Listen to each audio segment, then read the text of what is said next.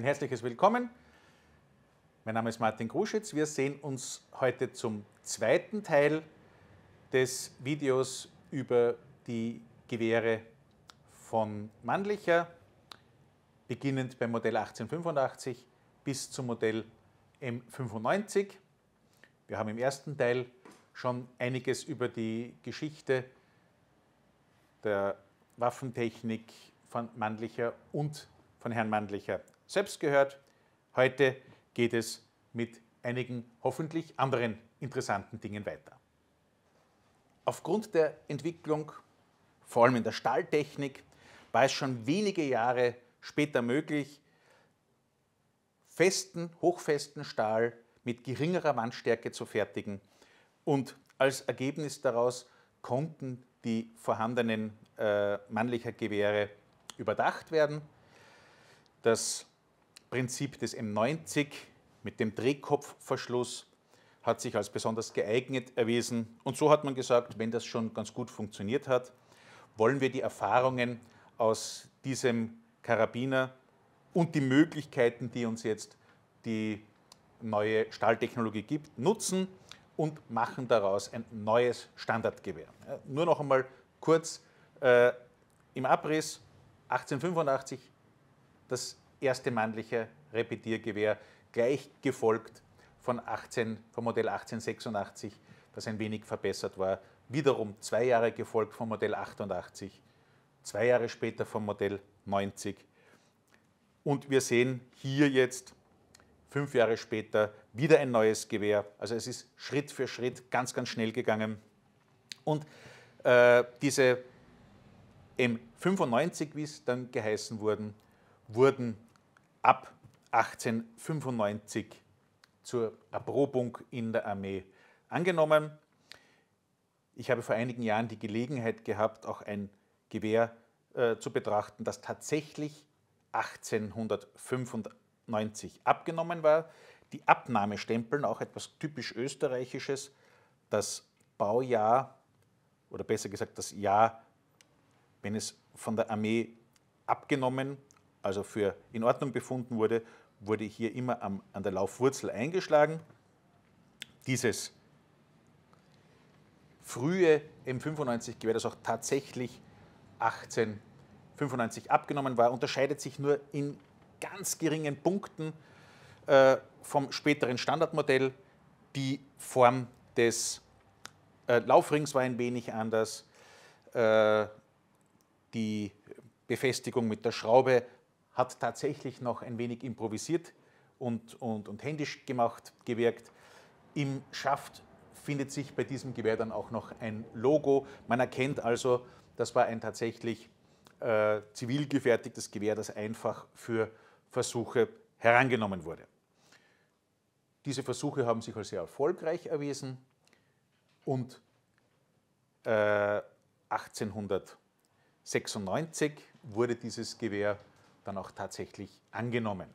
M95, hier merkt man das in der Modellbezeichnung, heißt also nicht, dass das Gewehr schon 1895 auch tatsächlich äh, angenommen wurde, sondern erst äh, ein Jahr später. Wir haben hier das klassische Infanteriegewehr mit dem großen Rahmenvisier. Dieses Gewehr stammt aus dem Jahr 1898, ist also sehr, sehr früh äh, gefertigt. Man sieht das auch noch an der sehr, sehr guten Qualität der Verarbeitung. Das hat dann im, äh, im Krieg ein wenig anders ausgeschaut. Hier aber wesentlich mit dem Gewehr wurde auch ein weiterer Laderahmen oder Magazin äh, verwendet. Dieses, dieser Laderahmen M90 wurde ganz neu beim Karabiner 90 eingeführt. Man erkennt den Unterschied. Die Größe ist zwar gleich, sind auch beide in beiden Gewehren verwendbar. Allerdings haben wir hier wiederum eine etwas leichtere und einfachere Bauart. Geladen wird das Gewehr, wir schauen uns das dann am Schießstand noch an, indem der Verschluss durch Zurückziehen geöffnet wird, der volle Rahmen wird dann eingesetzt. Beim Vorschieben des Verschlusses wird die Patrone in den Lauf repetiert. Auch das werden wir uns am Schießstand dann genauer anschauen. Und nachdem die letzte Patrone verschossen wurde und der Verschluss geöffnet wurde, fällt der Rahmen dann an der Unterseite leer heraus. Die Sicherung bei diesem Gewehr ist seitlich angebracht. Wir können im gespannten Zustand wie auch im entspannten Zustand sichern. In diesem Zustand lässt sich der Verschluss dann nicht mehr öffnen. Gefertigt wurden die Gewehre dieser Zeit sowohl bei der Waffenfabrik in Steyr als auch bei der äh, neu gegründeten Fabrik in Budapest, erkennbar jeweils durch die andere Beschriftung, Steyr bzw. Budapest.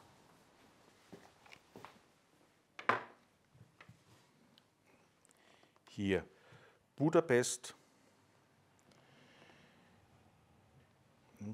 Beide sehr frühe Fertigungen, hier eben 1898, dieses Gewehr aus dem Jahr 1900. Vielleicht noch etwas, was an dieser Stelle äh, ganz interessant ist.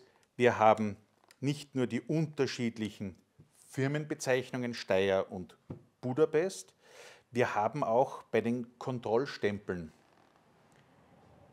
in Steyr jeweils ein K und in Budapest ein R.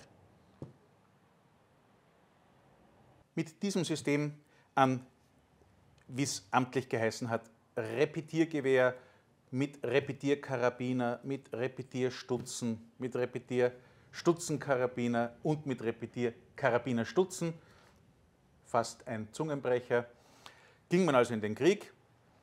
Äh, das Gewehr hat sich in dieser Zeit durchaus bewährt. Vorteil war, dass die Patrone 8x50 durchaus äh, militärisch präzise geschossen hat. Ein großer Vorteil für die Soldaten war die schnelle Bedienung des Verschlusses. Der Verschluss ließ sich ganz schnell zurückziehen und wieder nach vorschieben, um nachzuladen. Das führte dazu, dass die Soldaten dieses Gewehr auch Ruckzuck-Gewehr genannt haben. Einerseits, weil es ruckzuck gegangen ist und andererseits, weil das Geräusch beim Repetieren lautmalerisch mit ruckzuck umschrieben werden konnte.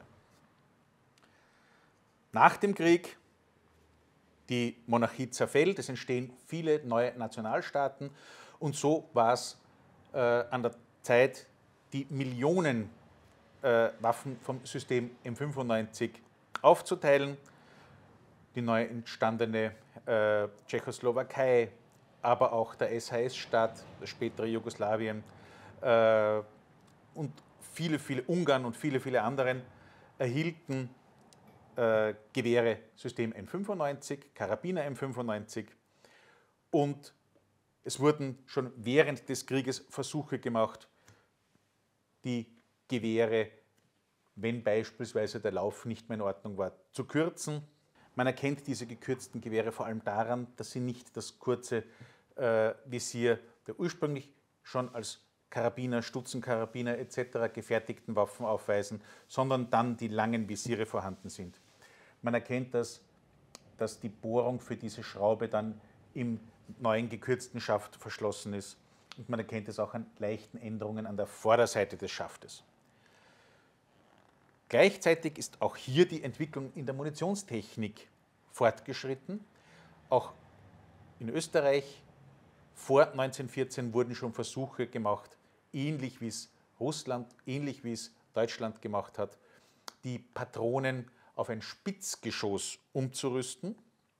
Spitzgeschoss, ein Spitzgeschoss, das etwas kleiner äh, sein sollte, ein Spitzgeschoss, das tatsächlich eine ganz andere Geschossform, nicht mehr ogival wie bei den alten M93 Patronen, sondern eben spitz sein sollte, das alles sollte zu einer Erhöhung der Bahnrasanz, also zu einer gestreckteren Flugbahn führen, äh, konnte aber aufgrund des Geldmangels vor dem Krieg nicht mehr umgesetzt werden.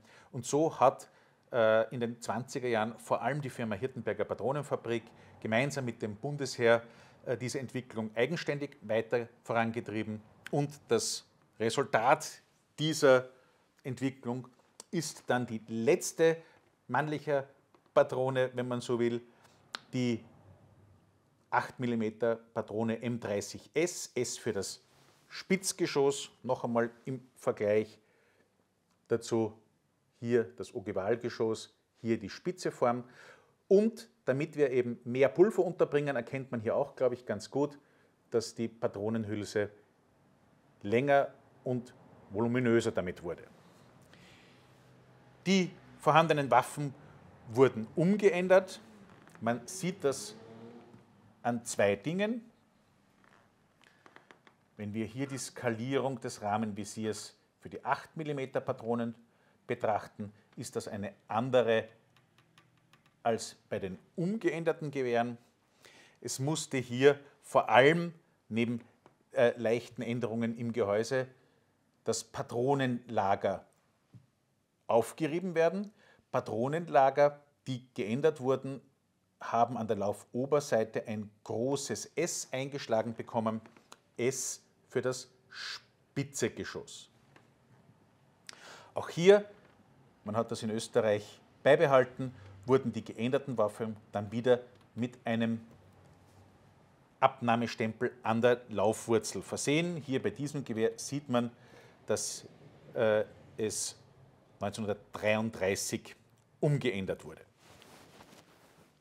Auch die Ungarn haben dann diese Änderungen äh, vollzogen, während bei uns schon 1930 eingeführt, in Ungarn erst 1931.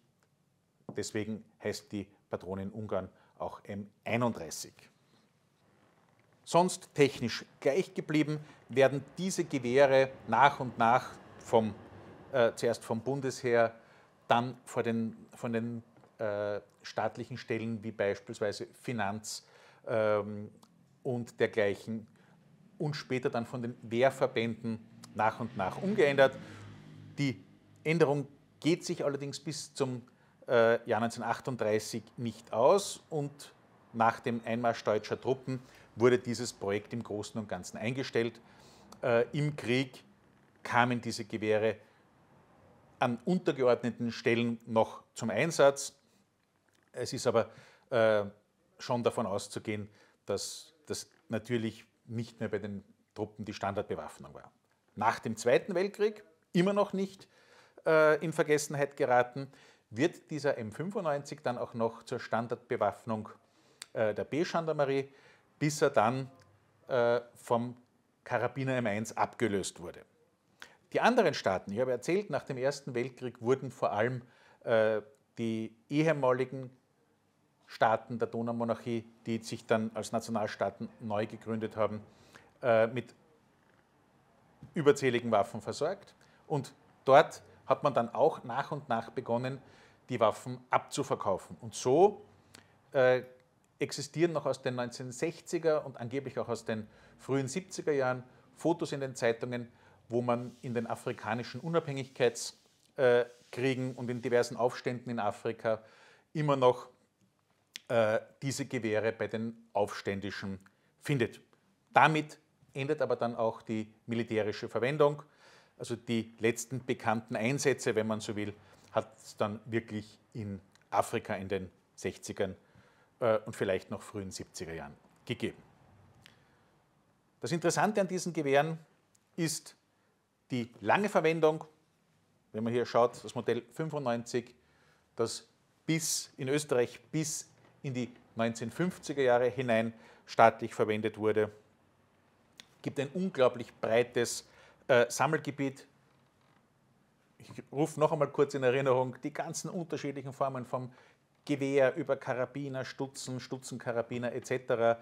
Also für Sammler sehr, sehr, äh, ein sehr, sehr breites Spektrum. Ebenso interessant äh, ist die Munitionskunde zu diesen Gewehren. Auch hier gab es unglaublich viel Versuche von unterschiedlichsten Geschossen, vor allem im Krieg äh, in unterschiedlichen Formen von Spitzpatronen, äh, Spitzgeschossen der Firma Alder zu, zur sogenannten Ballonpatrone, also wenn man so will, eine Art Sprenggeschoss. Das alles wurde aus dieser Waffe verschossen. Aber auch drumherum gab es einiges. Umfangreich eben nicht nur die Vielfalt an unterschiedlichen Formen und Längen, sondern äh, hier gibt es auch für, den, für das Sammlerherz unterschiedliches Zubehör, das gesammelt werden kann. Ich habe jetzt hier nur einige äh, Dinge beispielhaft hier. Riemen gab es auch in unterschiedlichen Formen. Äh, die Gebirgstruppen zum Beispiel hatten einen Riemen, den sie leichter verstellen konnten. Äh, wir haben hier ein Bajonett in der Ausführung mit Portepee-Bügel, wo also hier dieses Portepee befestigt werden konnten. Das gab es auch ohne für den äh, Standardsoldaten. Wir haben hier einen Putzstock zum M95, dreiteilig, jeweils hier zusammengeschraubt. In österreichischer Gründlichkeit wurden auch hier die Putzstöcke abgenommen, also mit dem Stempel versehen, wenn sie überprüft wurden. Wir haben Patronentaschen in unterschiedlichen Ausführungen, einteilig oder äh, zweiteilig und ein besonders nettes und interessantes Zubehör, ein sogenannter Einstecklauf, wie er in der Zeit der Ersten Republik zum Üben, zum Trainieren verwendet wurde. Dazu wurde der Zylinderverschluss aus der Waffe herausgenommen und der Einstecklauf hier eingesetzt.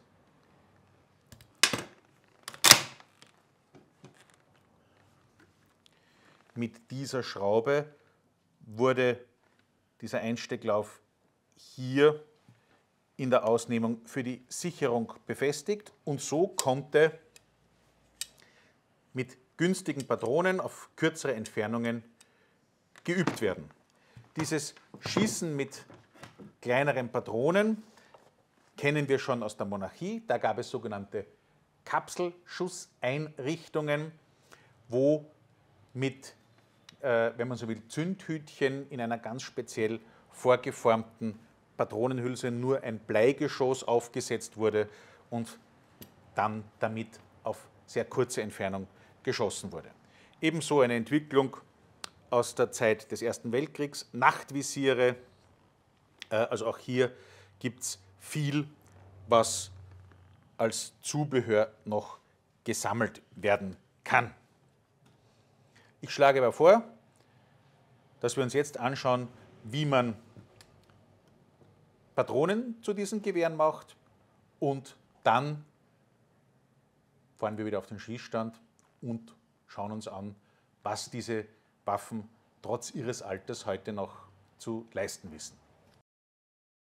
Wir sind jetzt beim Fertigen von Munition für diese Gewehre äh, und das stellt uns ein wenig vor Probleme, denn heutzutage werden zumindest nicht im großen Stil äh, keine Hülsen mehr im Kaliber 8x50R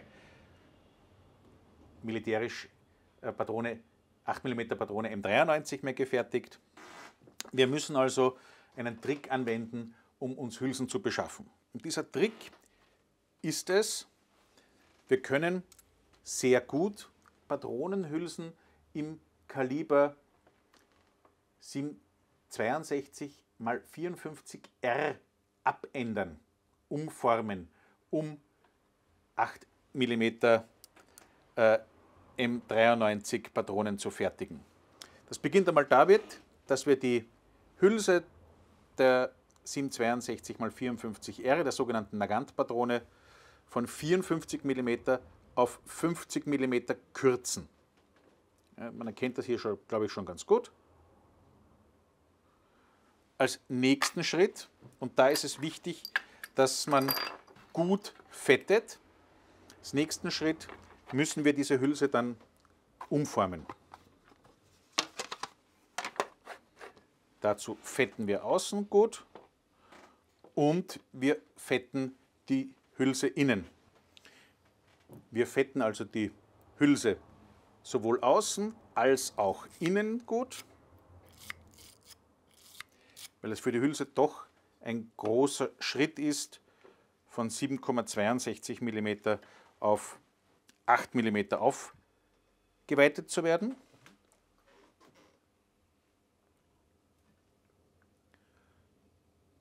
Zu diesem Zweck können wir die normale Matrize zum Kalibrieren verwenden, müssen nur mit etwas mehr Kraft hier arbeiten und haben sie jetzt geringfügig aufgeweitet, sodass uns 8 mm Geschosse in den Hülsenmund hineinpassen. Ausgangshülse, so schaut sie jetzt aus. Die Form hier passt noch nicht optimal.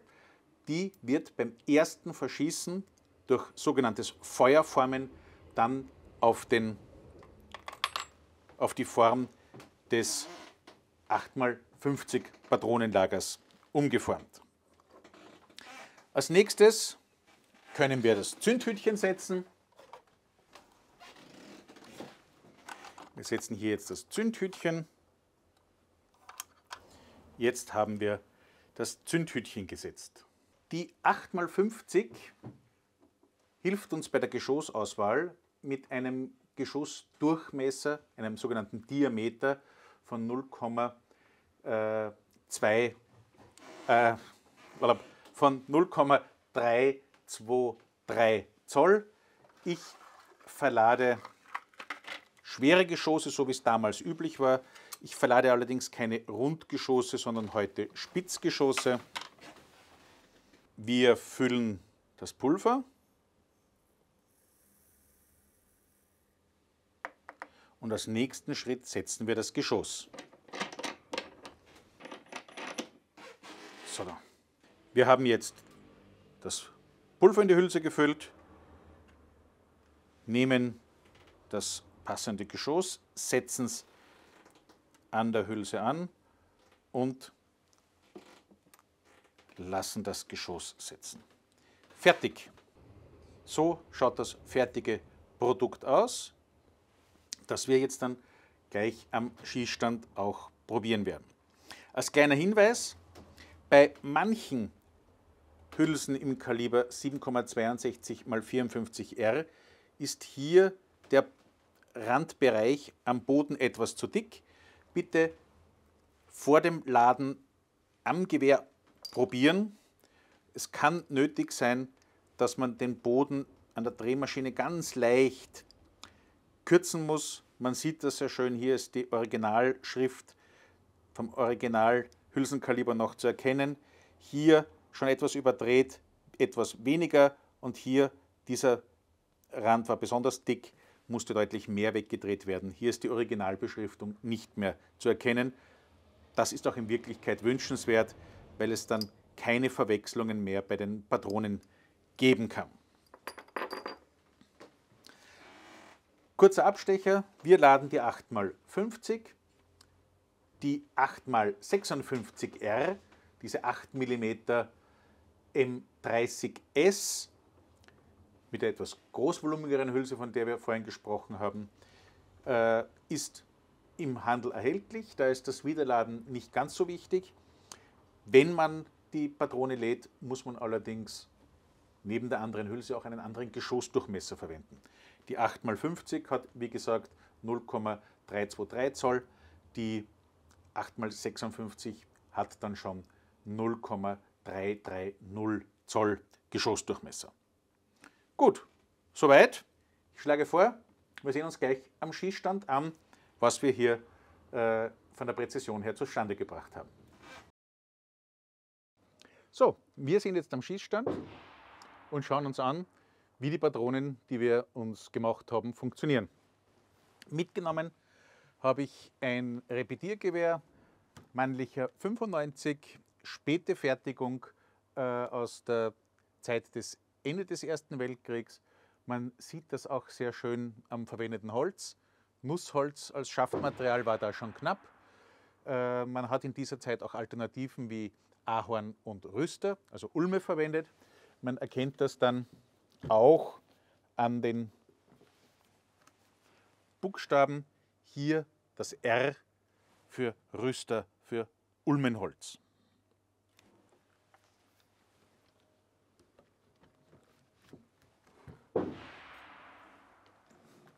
Da haben wir das Magazin M90, kurz der M95er Laderahmen, umgangssprachlich. Wir geben jetzt die Patronen hier in den Rahmen hinein.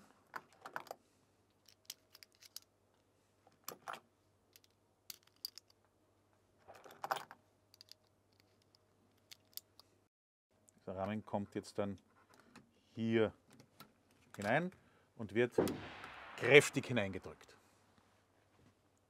Wir sind schießbereit und schauen wir, wo die Treffpunktlage liegt.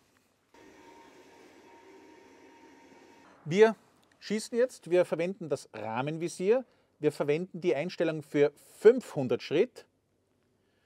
Die niedrigste wäre aber, wenn das Visier aufgeklappt ist, die Einstellung 300 Schritt hier. Ich kenne die Treffpunktlage bei 500 Schritt allerdings ganz gut, deswegen verwende ich das.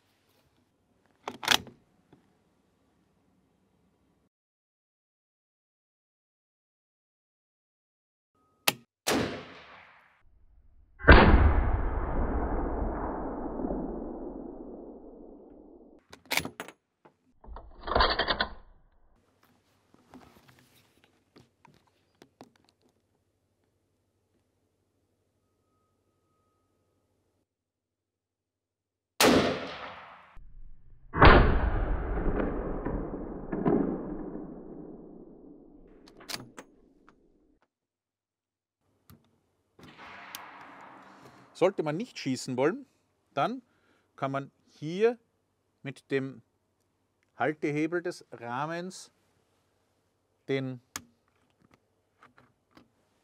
gesamten Laderahmen auch wieder entnehmen. Wir wollen aber schießen, deswegen lassen wir ihn drinnen.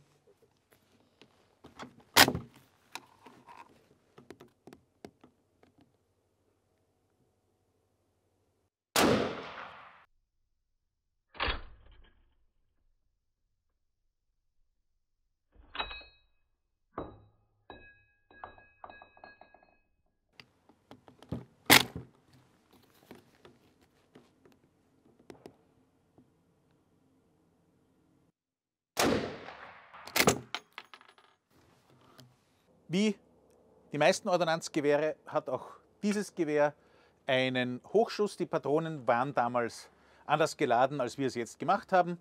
Aber man sieht trotzdem, das Gewehr ist 125 Jahre alt und wenn man diesen Hochschuss korrigiert, ist die Schussleistung immer noch sehr gut.